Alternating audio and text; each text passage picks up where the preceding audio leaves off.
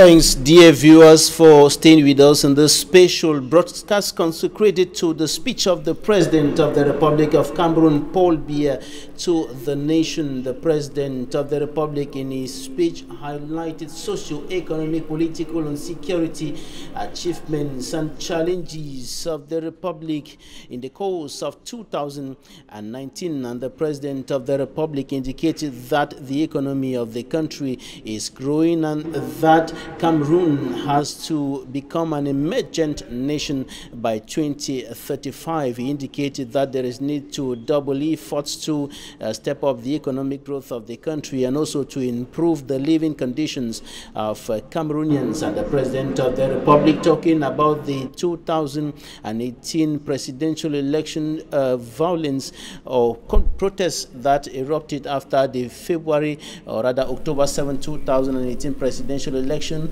the President of the Republic indicated that when an election is conducted respecting democratic norms, the results should be accepted. And he said no media can change the result of an election. And he indicated that with regards to the upcoming municipal and legislative elections of February 9, 2020, all measures have been, have been taken to ensure that all Cameroonians take part in that uh, in those elections and if need be, the security measures will be uh, stepped up, notably in the Anglophone regions of the country hit by socio-political and security crisis for close to three years today. And concerning the crisis, the President of the Republic of Cameroon indicated that a number of measures and actions have been taken with the major national dialogue, the special status, and the law that has been promulgated by himself with regards to the two Anglophone regions of the country. And he said that those who will persist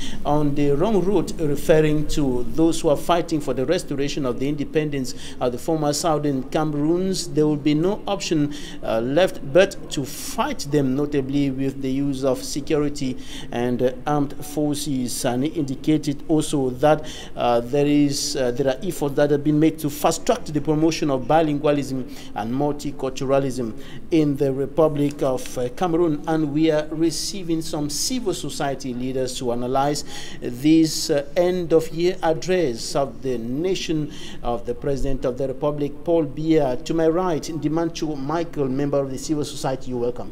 Thank you very much, Babila. It's a pleasure. And to my left, we have uh, Tabon Carl. He's also a member of the civil society. Thanks for joining us. Thank you, Mr. Babila. I begin with you, Dimancho Michael. When you listen to the President of the uh, Republic, what your take on all what he, he said with regards to the economy of the country, with regards to socio-political and security challenges that are hitting Cameroon from the north to the south, from the east to the west today? Without talking much about the issue of progress, which the President mentions about three times, I would like to very much delve on what is our main concern in this country for now, which is the Anglophone issue. And of course, you realize that our president is still trying to pull ropes with what is going on, uh, with corpses littered all around the places. And we thought that we are going to have a president who is very, very remorseful, a president who has the people at heart. But uh, unfortunately, I listened to a president who seems to be very, very and actually absent in the uh, day-to-day -day events of his country.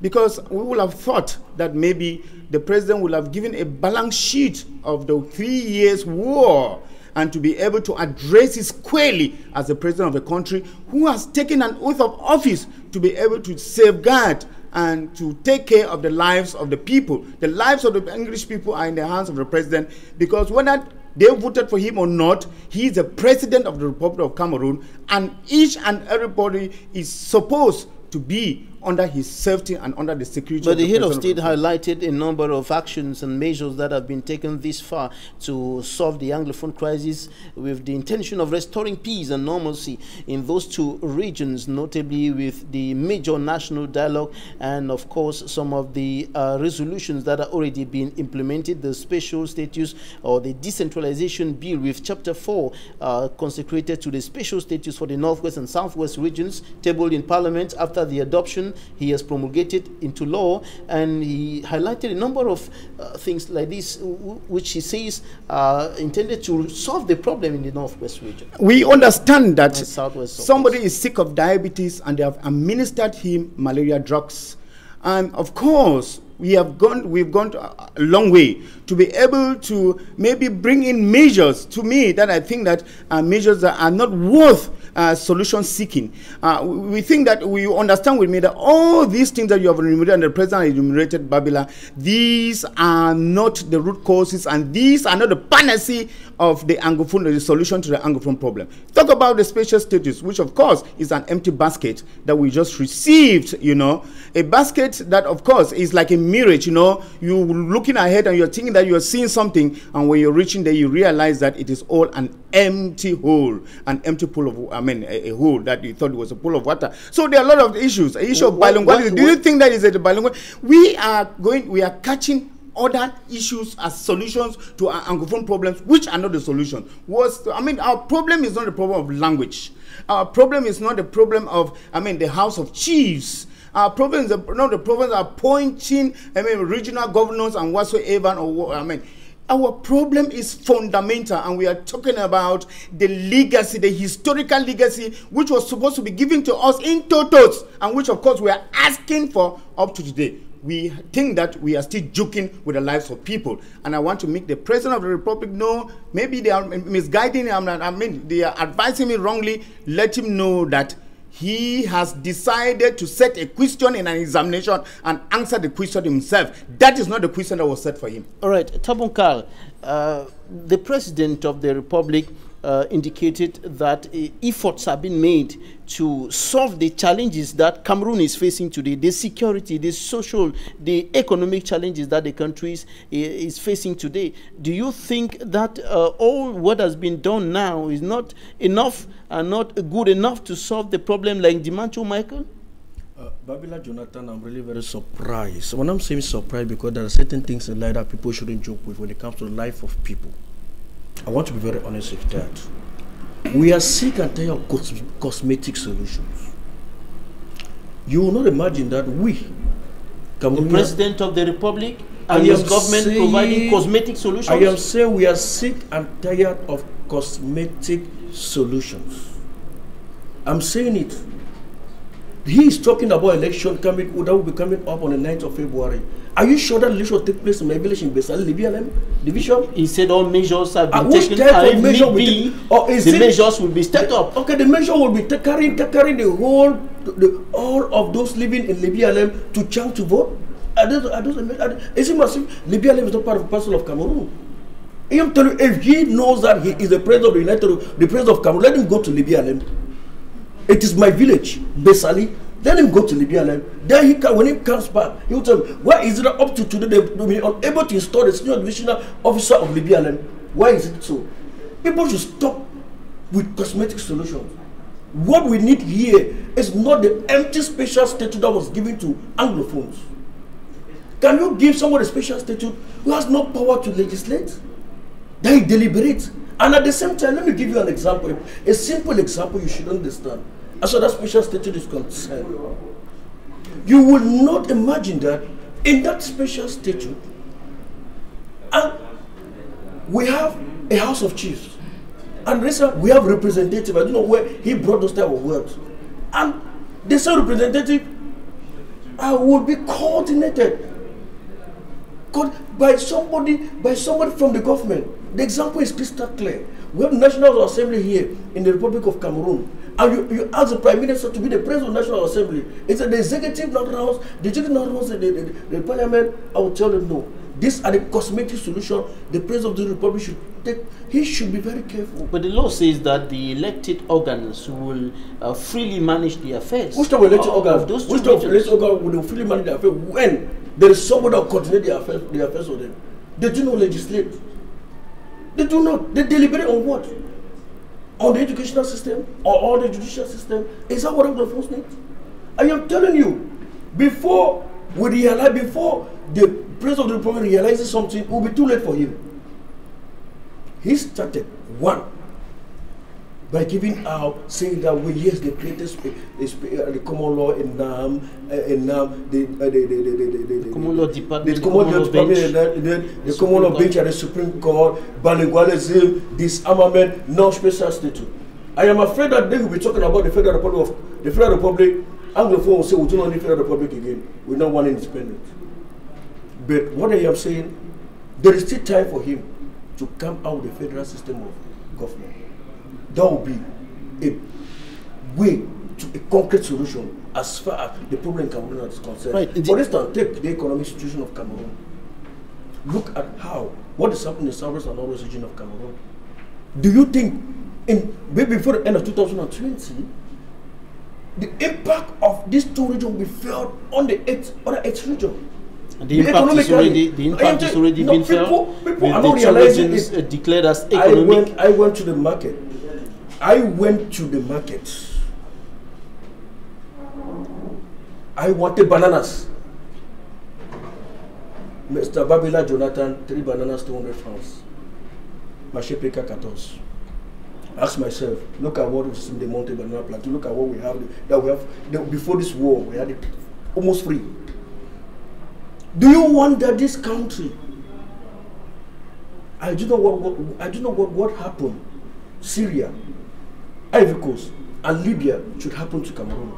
And the head of state the is saying that for the head of state is there because we Cameroonian. I do not know. Cameroon asked him to be there. He, he said he, he won the election. He, he's saying that for us not to get to that level, for us not to get to what is happening in the Central African Republic, for example, for what happened in uh, Libya, for example, for us not to get there, uh, those who are carrying guns and they're in the bushes uh, should drop Babila, their guns Babila, and, and, come out of the Babila bushes. Or do you not get the me? only option will be to fight them. Do you not get me annoyed? This is the second time he's declared war, war on Anglophones. This is the second we all listen to that speech. This is the second time he's declared war on Anglophones. Do you not get me annoyed? As a father, stop being arrogant. What is happening? Why can't you call for why can't you call for an inclusive dialogue? We need an inclusive dialogue. You call for a major national no, dialogue. That one is a cosmetic. We want an inclusive dialogue. And, and the way the political parties uh, who, who, took part, the SDF, uh, the, the, the progressive movement, and other parties, uh, and so on. And the people who came from the diaspora to take part in that dialogue. I know you are the one asking questions, but there's a question I'm going to ask. Give me the meaning of an inclusive dialogue. Are you saying that that dialogue was not inclusive Give enough? me the meaning in the dictionary of an inclusive dialogue. There I will tell you whether that dialogue was that was necessary or not, or whether it was an inclusive dialogue or not. That was a monologue. You will not define what people will say in a dialogue, and you call it a dialogue. Those people, the people who are supposed to be there, are not there. The separatists were the separatists there. All right. They're going to cosmetic solution. What, what, what they did, what they did during the presidential election, where they brought on fake, fake international observers. No, we should be serious. All right, we are uh, crying for this uh, country, and I don't no want allow this country to to, to, to, to, to go rampage. All right, uh, Tabon, I'm coming to you in a short while. And Dimacho Michael, um, this is the second time that uh, a statement made by the President of the Republic is interpreted as a declaration of war. The first time was uh, when he just returned from the country from Ivory Coast, uh, when he said that all measures would be taken to solve the problem in the northwest and southwest regions, and that was interpreted as the declaration of war, an interpretation rejected by those who are close to him. And today, he, he said that uh, those who will persist on the wrong way, referring to those civilians who are carrying guns and they're in the bushes, uh, will be fought by the military, will be fought by the defense and security forces. Is that a declaration of war? Of what course. would be the impact of such a statement on the situation on the ground? The impact would be an aggravation of what has been going on for three years. You just cited it, this is the second time. When he said it the first time, people worked. People, I mean, there was, I mean, anger flared. And you know what has happened since that time up to now? I would like to tell you that I'm not a prophet of doom. The anger that has flared two years ago is going to triple this time around. You know, there is no need trying to flex muscles with people. Of course, uh, you know that you will not be able to get the immediate solution. Uh, the president has been trying to declare on the people and has been trying to fight the people, and he has not been winning the war for three years now. And today, honestly, I felt like a civil society that the president was going to come out. The first thing that was going to come out of his mouth in his speech was to say that he's declaring a ceasefire. Those who know about war know what we mean by declaring a ceasefire from a leader that is the president of the republic. Because when you declare a ceasefire, everybody is supposed to drop down their guns. And of course, you know that humanitarian uh, organization, the UN and whatsoever, they're supposed to get into those regions where people are suffering when uh, uh, ceasefire has been declared, and they'll be able to have a controlled penetration into the hinterland, into places where people need assistance. And of course, when you declare a ceasefire, anybody who shoots gun at that very moment is going in for the crime that you, uh, you committed. So government, government is accusing some of those organizations of wanting to destabilize Cameroon by inflating figures of uh, IDPs, of persons in need of humanitarian aid, of deaths and houses destroyed, villages destroyed burnt down and so on. I only see that this has gone a long way to be able to leak out the weakness of the government in terms of statistics of the Anglophone war is concerned. This is a clear sign that the government doesn't know exactly what is happening in the northwest and the southwest region. No. It's because they do not have the clear statistics, or either they are refusing to have the clear statistics and they want to give a different impression to the international community. These organizations who have given these statistics are organizations who are on the ground and they are giving holistic statistics about what is on the ground. And if the president should come to contradict himself, I think that he's just going a long way to be able to disgrace himself, to tell the international community that he doesn't have the, the, the country at heart and he doesn't have the statistics of his country at heart. I, I think that we need to be very, very serious. One of the things that, I mean, angered me, I'll, permit me say this, in the speech was the fact that he talked about terrorists who are destabilizing the country and who are creating terrorism whatsoever but I would like to say that, like a, a, a president who wanted to be objective, he, he would he, have admitted the, to the fact that the military are committing a lot of crimes. There are so many people who are not able to get back to their uh, various villages in North and South, not because of those boys who he calls terrorists, but because of the kind of the, the, the, the, the, the actions of the military which of course is scaring people out of those regions. I think that we need to be very realistic. We have gone three years and let us not go for one year more in this war. Enough is enough. We have borne so much for so long a time. I think that it is time that somebody say that this should stop. Tabong Akal, the head of state, used those same words in his speech to the nation on the 31st of December 2018. He used those same words, terrorists and rebels, uh, and today he's, come back to this again after stiff criticisms coming from across the board, politicians, civil society actors who are um, uh, condemning the fact that government members are referring to those who are fighting for the independence of the former Southern Cameroons, for the restoration, those who are fighting to divide Cameroon as terrorists and uh, rebels and so on. Uh, Mr. Babila Jonathan, uh, I'm telling you, we are no more in the Precambrian era. We are no more in the Precambrian era. Today, if you do something, maybe in BLM in my village, uh, in BLM in my division, and Besali in my village, in less than some seconds or minute, you have it in your smartphone. Therefore, means we are no more in the Precambrian era. That's the different. That is what maybe the president is like. He doesn't know. He thinks that we are still in the Precambrian era. No, we are no more in the Precambrian era. And I'll tell you one thing. I have never seen a situation in life where you think anger or force will solve any problem. It has never solved a problem. War has never solved a problem. And nobody has ever won a war in life. Let us be realistic. America thought they won the war in Iraq. What but, is Iraq? But, but, the, but the activities of those, the civilians who are carrying guns, is it not synonymous? Are those activities not synonymous to terrorism? Um, um and the like were, in those days they were maquisards. Today they are heroes because they were fighting for something good. Tomorrow, those same terror, those some terrorists will be heroes. Because I am telling you, we are in a nation. And this nation is made up of the English and the French speaking regions. I have been saying people should not mix up things. We were colonized by Britain, they were colonized by France. We all got independent in two different ways. Our independence was granted by the Britain, why just my French? We are two different entities. That was before. That was before. Let it be before or now. The truth is that two different countries came together. Came together to form one. To, which, no, listen. Two different countries came together at the Foumban Constitutional Conference, and a marriage was adopted. That marriage had no marriage certificate. No marriage certificate, and the president of the republic should take, to, should know that that we had no certificate. If he's wise enough, let him call for an inclusive dialogue. So we sign, we renewed a, our, we it, just like concubines. We renew this marriage and sign a concrete marriage certificate that would live to last. You're referring to a union treaty. Is that? Do you know something? I am telling you, I'm still repeating. The moment they will one federation, we will not be ready to go one confederation. The moment they, they, the, the, the moment they'll bring in confederation, also we're no more confederation, we now want to separate. If let them keep bringing out cosmetic solutions. I am saying cosmetic solution. This cosmetic solution started since 2016.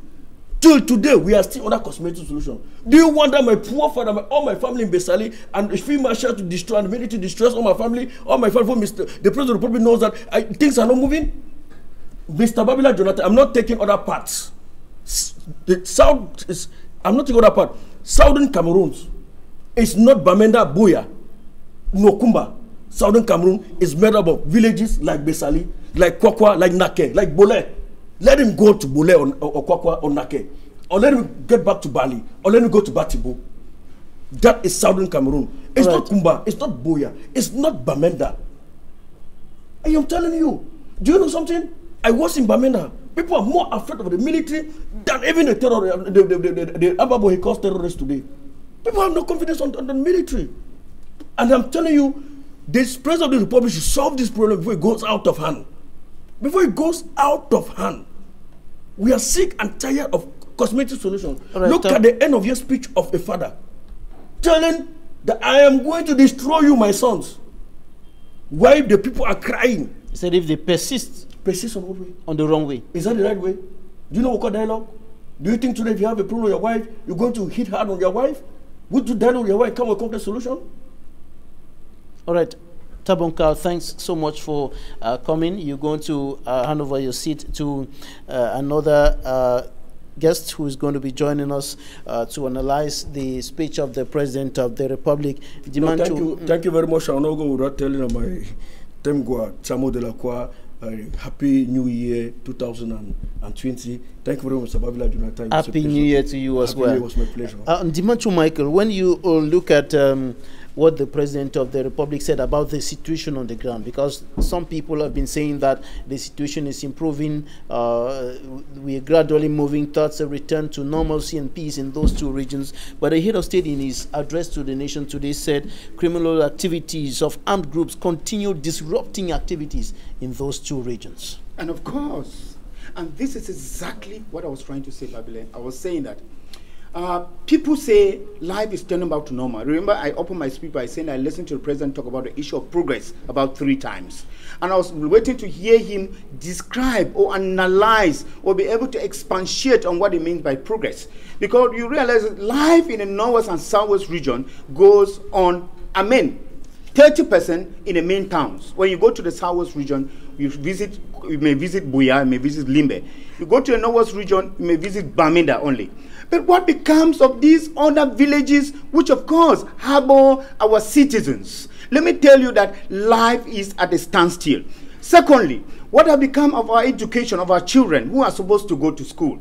When the president talks about uh, progress, I was listening to hear him say, like somebody who thinks about the future of Cameroonians. Because I have an impression that most of these people who are living now, like the president and all the government, they are living as if life is going to end with them.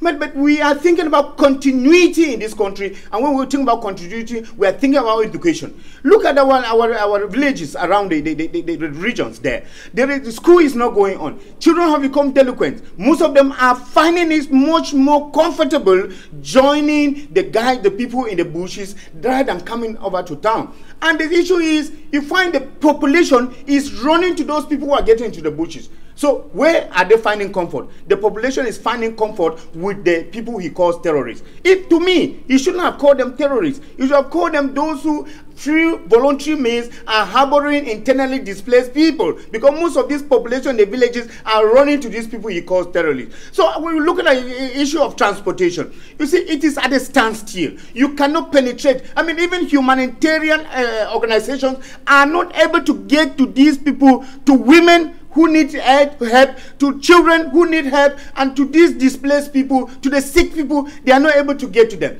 You, you have heard about the death of even uh, international organization uh, civil members who are being killed on a daily basis because of lack of security. And if the president should say to talk about uh, progress, I begin to ask myself. I think that we should be able to look ourselves in the eyes, look himself. The president is particularly should look himself in the mirror and be able to ask himself if for three years he has two Cameroonians the truth. I, I think that you're able to make an assessment of himself. Like he, he only interested about garnishing Cameroonians with what he thinks that is the best thing to do. He has failed to talk about the failures of the government in terms of infrastructure. We'll we be coming back to, to that. You see, some of these issues I mean, the things that go around come around. And I think that these are all ramifications of the uh, uh, Anglophone crisis. We'll be coming back to that in a short while. We are receiving Walang Richard, another member of the civil, uh, uh, Walang Abang, another member of the civil society. Thanks for joining us. Uh, thank you, Mr. Babila Jonathan. It's always a pleasure for me to be here. I'm excited that, you know, you have invited me to comment on the speech of the head of state, uh, which has not left many Cameroonians indifferent, as I think, you know, based on what he has said. So thank you for inviting me. All right, we were talking about the situation in the northwest and southwest regions uh, of the country. What's your take on what the president of the republic said with regard to efforts of government to solve the problem, with regard to efforts of the government to restore normalcy and peace in those two regions? I, I think that you know there are certain uh, things that the president of the republic has said, which are virtually, which are basically true.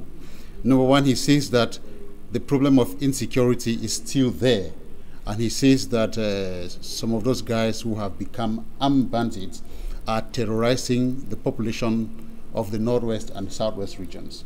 Let us look at our, let us look at ourselves in the eyes and ascertain whether this is true or not. I think it is true. You know, there is insecurity in the northwest and in the southwest. But I think that, you know, um, a, a, panelist has made mention of the fact that it is not only those guys, you know, the Amba Boys, who are terrorizing citizens or inhabitants of the northwest and southwest regions of Cameroon, even the military. In fact, uh, I watched uh, an interview you gave uh, to the Cardinal Where he says that, and it is very technical. It is good that the government be aware of this fact.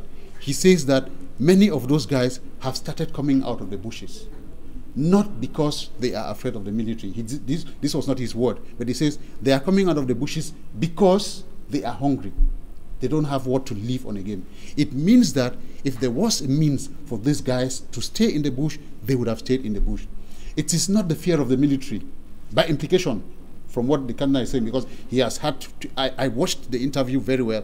He has met with these guys, many of them, he has discussed with them, tried to persuade them to make the decisions. And